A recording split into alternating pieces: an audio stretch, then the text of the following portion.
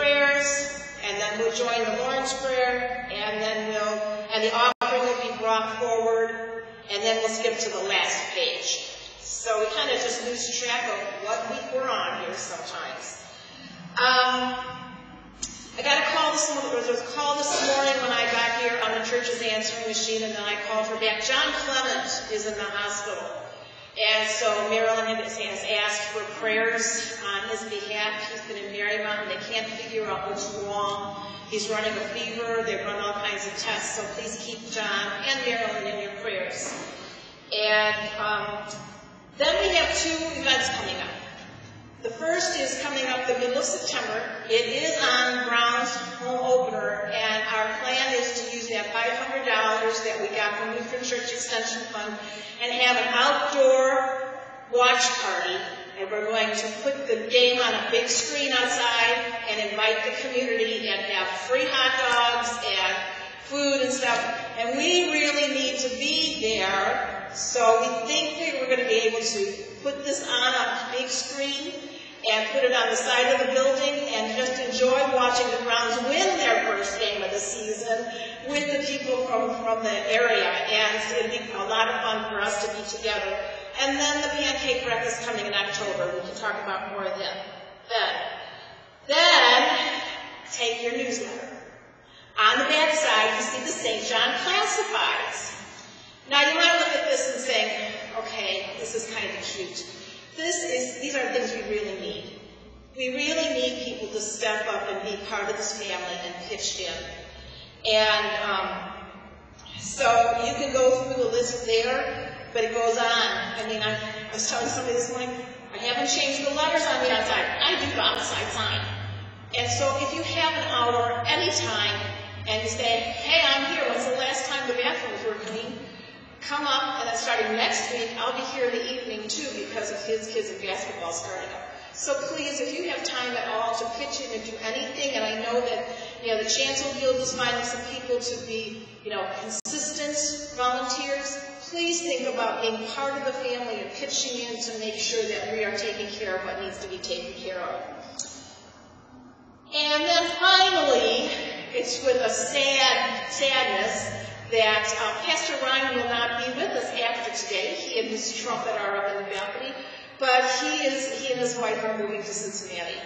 And so he has told us that when he's coming up here to visit his son, that he'll let me know and he'll be back. But please wish him, you know, God's blessings on your way out today because after his time with us today, we're not sure how soon he'll be back, but he's making a move, um, partly related to his counseling job. I don't think I have anything else as far as announcements. If there's anything that you have questions about, talk to me on your way out of church or talk to each other on your way out of church.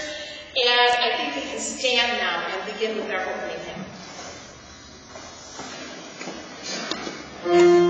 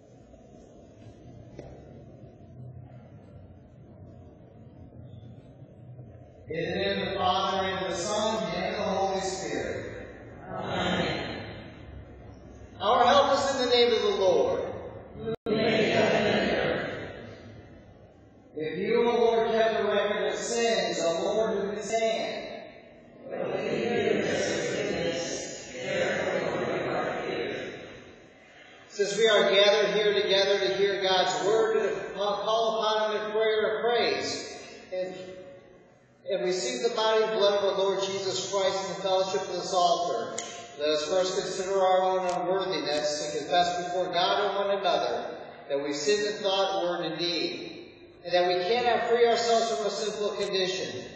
And together as His people, let us also take refuge in the infinite mercy of God our Heavenly Father, seeking His grace for the sake of Christ and saying, God be merciful to me, a sinner.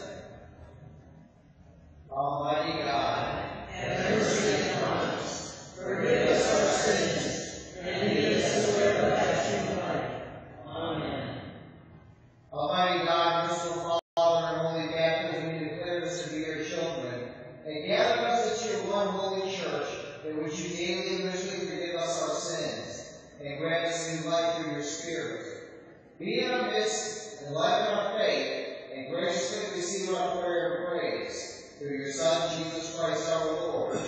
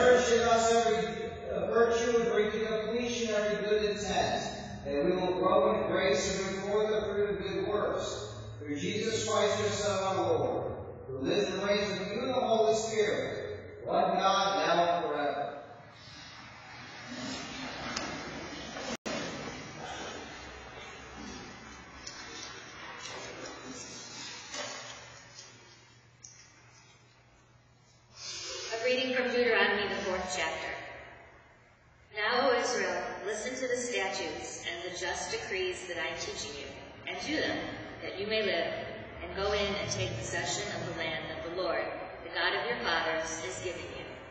You shall not add to the word that I command you, nor take from it, that you may keep the commandments of the Lord your God that I command you.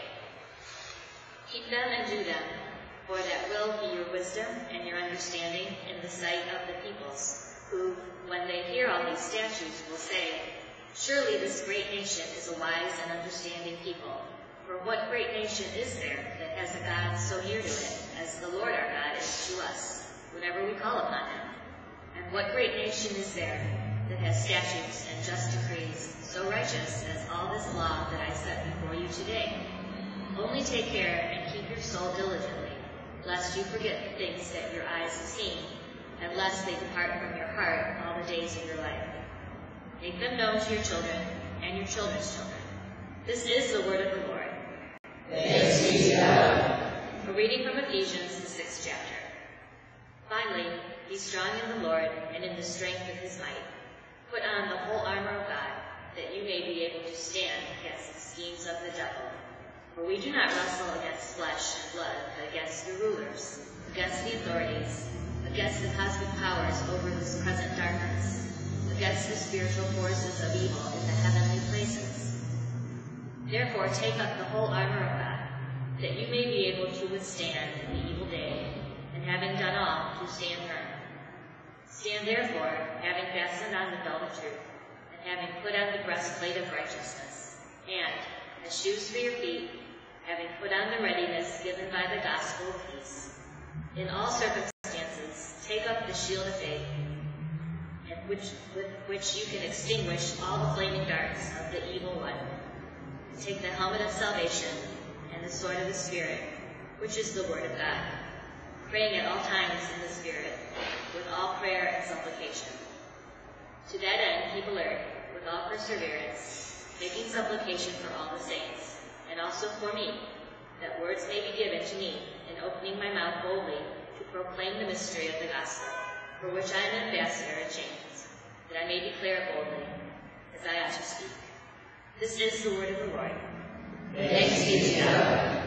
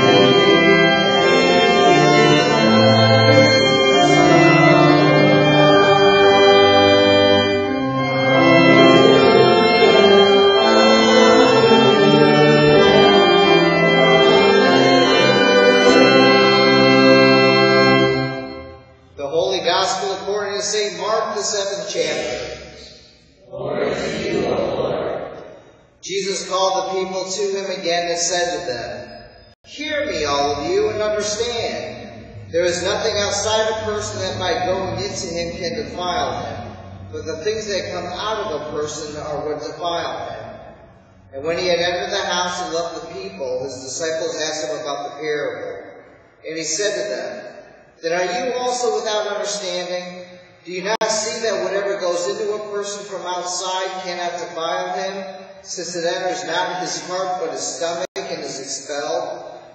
Thus he declared all foods clean. And he said, What comes out of a person is what defiles him. For from the heart of man come evil thoughts, sexual immorality, theft, murder, adultery, coveting, wickedness, deceit, sensuality, envy, slander, pride, foolishness. All these evil things come from within, and they defile a person. This is the gospel of the Lord. We confess our faith through the words of the Nicene Creed. I believe in one God, the Father Almighty,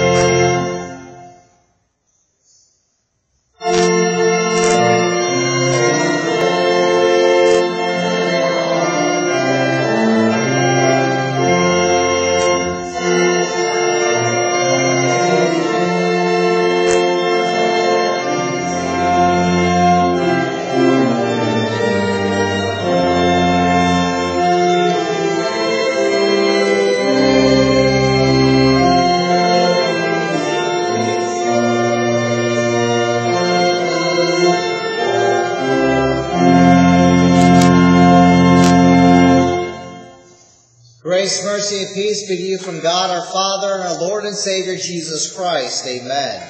Our Morris test is taken from the epistle lesson Ephesians chapter 6, which was just read. It is incredibly rare, believe it or not, to preach about footwear. And yet that's exactly what I'm going to do this morning because St. Paul talks about it.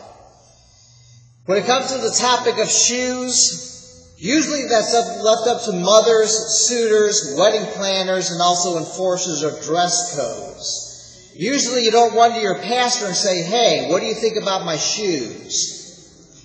In our epistle lesson, St. Paul is outfitting the Christian from head to toe, and he does not forget about footwear. Footwear, interestingly enough, is a very interesting topic, believe it or not, and as a man, I'm surprised I'm even saying that, but it's true. I didn't think much about it until I went for my master's degree in counseling. When I took my trauma class in the evening, I was in the class with about 24 other students. There were 25 of us. And on one particular week, we had a guest professor come in to talk to us. Now keep in mind, I was at Ashland uh, Seminary going for my uh, master's degree in counseling. So the professor we had, she actually came in from Akron University. She came in to talk to us about ALICE. I don't remember what ALICE stands for, but it's an acronym. It was for First Person Shooting. And ALICE program is set up for high schools and also for colleges. She came in, walked up to that podium at the beginning of class, introduced herself to us, and then she remained quiet for the next two minutes. After two minutes was over, she said, close your eyes. And she says, remember what I look like and then she walked out of the room. Between 30 seconds to a minute later, she came back in, walked up to that podium, and she said, Describe me. 25 students in there, including me. She got 25 different descriptions. As she started teaching us and running us through the course, she said, This is what we learned from Columbine. Whenever there's a shooter, she says that the SWAT team will ask one question when they come across in the hallways a survivor. They will ask them, what was the shooter wearing on their feet? They wanted to know footwear. Because during the Columbine shootings and all the other shootings that had taken place in the high schools and colleges, everybody was on the ground. The only thing they were able to tell and see were the shoes. Which was kind of funny or ironic, I should say, because the professor was wearing red ruby shoes like Dorothy from The Wizard of Oz. The only difference was they were sparkly, high heel shoes. There were about three people in class that got the description pretty close, and I was one of them. And the only reason being, she knew right away myself and one of the other people that gave a description, we were both military. So as soon as she said, take a look at me and memorize me, I ran through the salute uh, test, which is what I learned. So I took a look at her size, her action, the location, the unit, the time, and the equipment that she had. There was another uh, man that was in there. He was also Army, and he did, did the same thing as I did. The third person that got closer already went through ALICE training before, and they began to peg again her shoes. Again, most people who have no military experience do not think first about shoes, especially when planning for battle. If you or I were let loose in the armory, we'd go right away towards the weapons. So we would pick up, back in our Lord's day, choice of a sword and shield, worrying next about the helmet and the body. Today's standards, we would start looking at the pistols, the shotguns, and then we start looking at the body armor, as well as the Kevlar helmets. The last thing on our mind, if even at all, would be concerned about our ankles, toes, and soles of our feet, the shoes that we would wear or the boots. That again is completely reversed with an experienced soldier, especially a soldier who has experienced a forced march or whoever had to hold the line. Books and movies are filled with images of poor ordinary soldiers struggling to protect their feet from cold or from injury, especially when their boots are literally falling off their feet. Shoes, or even lack of them, can turn the tide of any battle. I did this when I was researching this uh, text for the sermon this morning. When you get a chance later on today, Google Scotland and Google Scotland's national flower. You'll be surprised. I was when I did. Their national flower of Scotland is the thistle. In order to take the sleeping Scots by surprise, an army of Norse invaders, sometime back in the 1600s, was ordered to remove their shoes so they could go in darkness and approach that army in silence. This is what the commanders did not anticipate. They did not anticipate or know that the field that their soldiers were going to walk through and cross in on bare feet was filled with thistles. So instead of attacking in silence, their shouts of pain sounded the alarm that led to their own defeat. And ever since that time, Scotland has honored the thistle as their national flower. Again, shoes and standing, they go hand in hand. Athletes and soldiers know the importance of standing for readiness. It's the exact same thing with the Christian soldier that St. Paul is talking about in Ephesians chapter 6. Even in the Old Testament, descriptions of Yahweh as a warrior, particularly in Isaiah 59 verse 17, whenever our Lord is pictured as a warrior, shoes are never ever mentioned. In the New Testament, St. Paul mentions them and it surprises us. Until we recall the plenty of opportunity as well as time he had to contemplate Roman boots, or in this case, Roman sandals, as he traveled to Rome in chains and then lived under house arrest. So, of all the images that Paul uses, this picture of the soldier's shoes seems very strange to you and to me. Because the question is how can the gospel of Jesus Christ serve as footwear for the Christian soldier? St. Paul again tells us, remember that the command given to the Christian soldier is very simple. It's only one word. That command is to stand. The command is not attack. It is certainly not retreat, but simply stand. And the whole armor of God He has given to the Christian to enable us to stand our ground and withstand the assaults of the enemy, which is Satan himself. is always there. So what can make the fulfilling of such a command possible, given the strength and fury of our foe? Simple. Paul again reminds us that a soldier needs shoes that provide protection. Matter of fact, I know with an absolute certainty that all of us in this room and all of us here now are wearing something on our feet. None of us in this room are barefoot. Even if you're wearing sandals, your feet are covered, or at least the soles of your feet are. I've got two shoes with me this morning, the ones I'm wearing now, and the ones I'm going to wear later, which are sandals on the ride home, um, as well as to my son's house. Point is, if we are to stand firm, we must be certain our feet will not be exposed. They've got to be covered. And just as the shield of faith can protect us from the fiery darts of the enemy, so does the gospel's promise of forgiveness of sins by Jesus' death on the cross protect our standing from the shots and spears of the attacker, which is Satan himself. Neither our own courage, strength, or righteousness will guard us, but the promise of forgiveness, life, and salvation in Jesus Christ our Lord does. Paul also says that a soldier needs shoes that provide traction. Although it's an odd chain of images, moving from gospel to peace to readiness to standing firm does make sense. Because the gospel we all enjoy in the good news of Jesus' death removes every worry from our minds and enables us to plant our feet firmly on the ground to meet the attack without wavering, trembling, or even slipping. That's why we're always at peace, because we're always together again with God through Jesus Christ our Lord.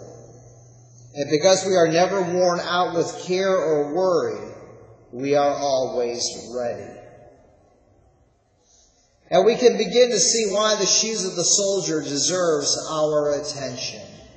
Matter of fact, when I went to basic training, believe it or not, that's the first thing they did with us. After we all got processed in, now was time to go ahead and receive our uniforms, and that included our boots. Our boots and our socks. Because without those, there is no soldier.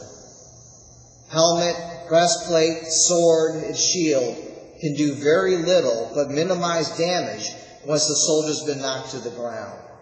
At that point, the battle's already lost. That's why St. Paul reminds us we must remain firmly on our feet.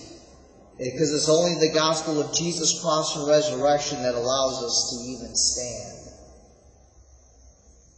Paul says a Christian soldier therefore wears gospel shoes. And when Paul applies all this to his own situation, his own face off with the rulers of this dark world, it's only the gospel that he mentions again. And he does not speak of wrapping the gospel around his feet. Instead, he prays that words will be given to him to proclaim the mystery of this gospel and do it boldly. And yet, we've got a fully armed picture of the Christian warrior in our minds and our hearts when we read our epistle lesson. In that respect, again, he surprises us. And instead of saying, let them feel the edge of my sword, he prays that he will have the chance to show off his shoes.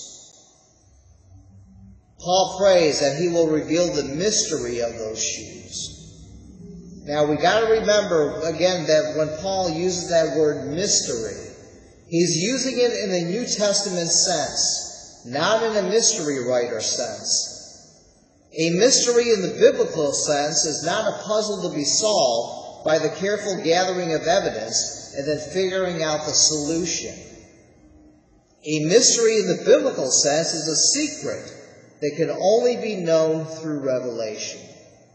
It's not something that you or I can solve on our own by our own careful observation or even cleverness. It can only be revealed to you and me by the Holy Spirit. That's why Paul's prayer is that he be given the words to make known to the world that secret that God has made known to us in the good news of Jesus Christ our Lord, dead and risen.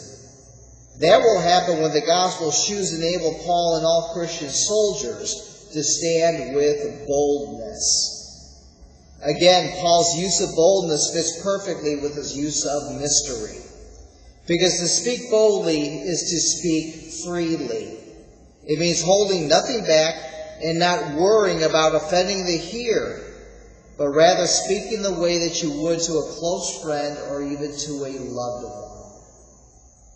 This takes courage.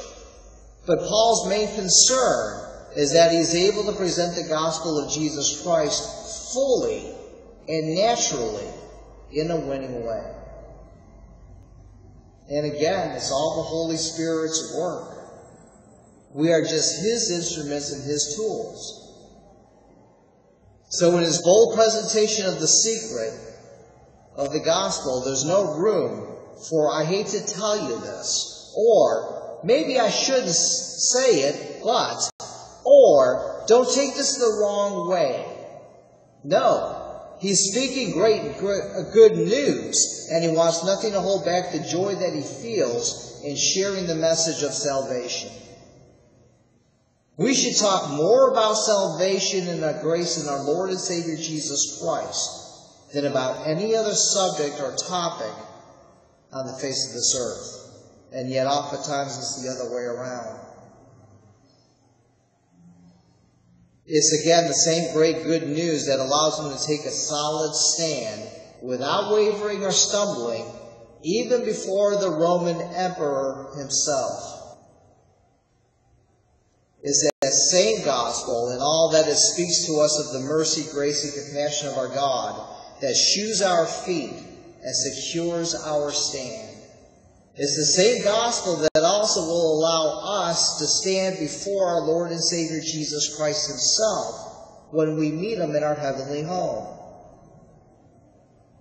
In its peace, we are ready for the attack and ready to proclaim, all within the same breath, against the devil himself, as well as to this world around us. Why? Because our feet are protected and our stand is made secure. The gospel of Jesus Christ fills us with a peace that gets us literally on our feet to boldly proclaim the same good news to other people around us. No weapon, no strategy, and no insult can shake our stand when we are covered in the gospel of our Lord and Savior Jesus Christ.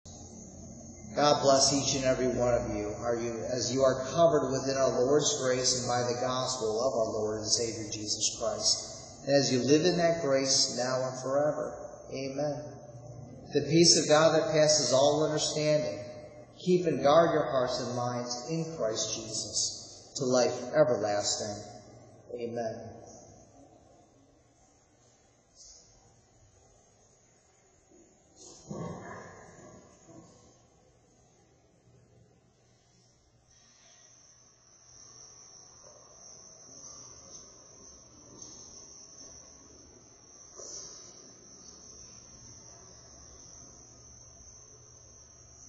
We rise for prayer.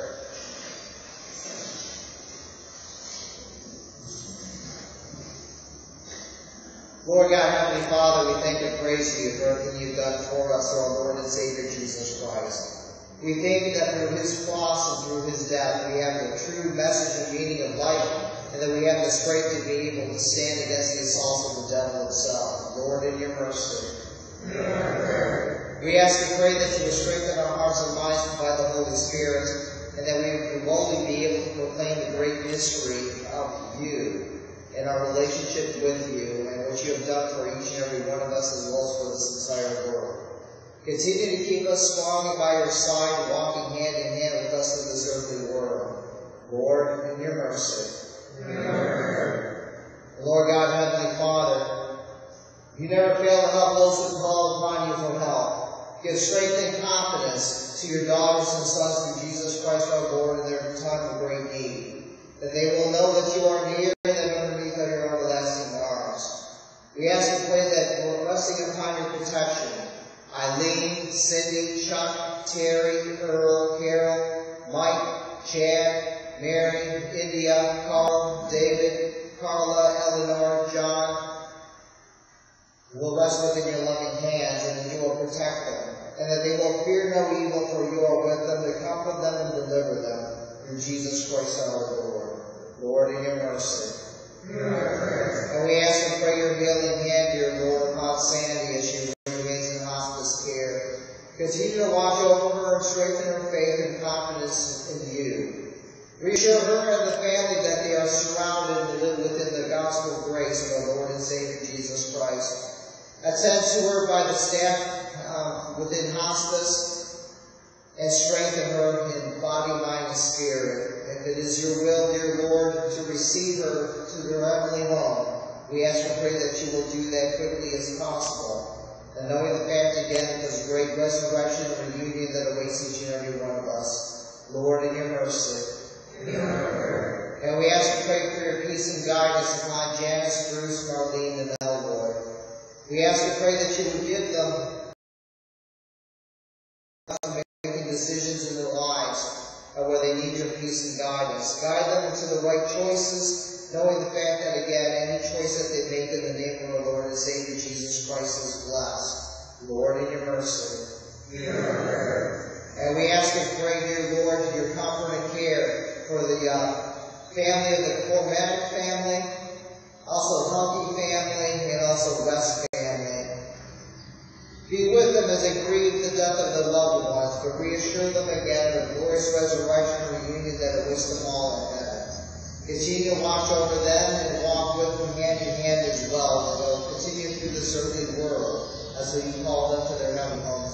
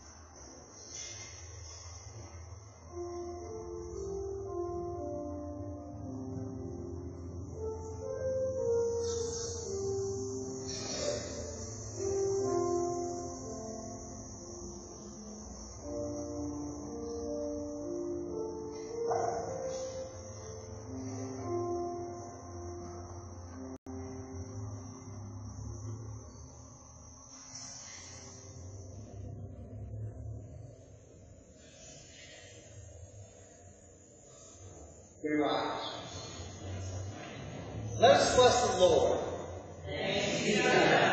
The Lord bless you and keep you. The Lord make his face shine upon you and be gracious unto you. The Lord look upon you with his favor and give you his peace.